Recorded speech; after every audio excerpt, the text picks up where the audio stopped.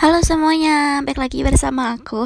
Kali ini aku bakalan ngasih tahu ke kalian tutorial gini, gimana caranya menghilangkan filter Instagram. Dan ini emang simple banget nih.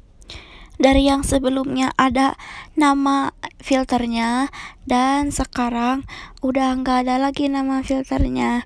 Dan kita langsung lanjut aja deh ya teman-teman ke tutorialnya. Oke, yang pertama kalian bikin instastory dulu gitu ya ini bentuknya video nah kalau udah kayak gini kalian seperti biasa gitu di save dulu ke galeri nah kalau udah kayak gini kalian langsung buka aja aplikasi edit video kayak PN video atau apalah kain master yang itu ada di aplikasi kalian. Kalau aku pakainya PN terus ini langsung ini buka aja. Nih ini yang udah aku edit. Dan jangan lupa ini belakang dihapus.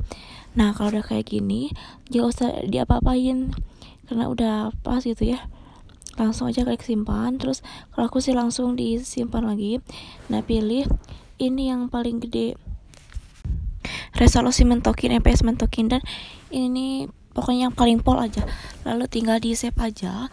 Dan ini pengaturan ini sebenarnya pasti ada juga di aplikasi video lain. Aku harap sih yang paling mentoknya di 4K nah kalau udah kayak gini langsung siba, simpan langsung lanjut aja ke Instagram yang barusan dan kita langsung pilih yang barusan deh.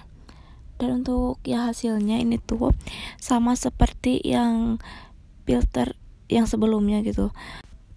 Dan langsung uh, bikin instastory ini aku kirimnya ke hanya orang terdekat aja gitu ini kan sebagai tutorial gitu teman-teman. Nah jadinya kayak gini deh. Nah udah nggak kelihatan lagi kan nama filternya. Udah ada segini aja teman-teman. Bye